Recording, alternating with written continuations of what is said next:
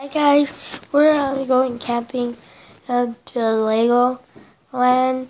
So um, we're just going to camping today, and uh, I just want you guys to know that uh, we're going to camping. So meet you there, and we're also gonna a lot of fun stuff at Legoland.